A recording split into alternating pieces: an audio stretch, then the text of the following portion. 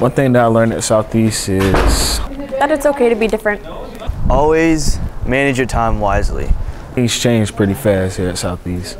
One day it's one thing, and then another day it's another thing. leadership, a lot of stuff about technology, which I'm gonna be doing in my field. So this school is kind of good for me, you know. I plan to major in marketing because I want to be a sports agent.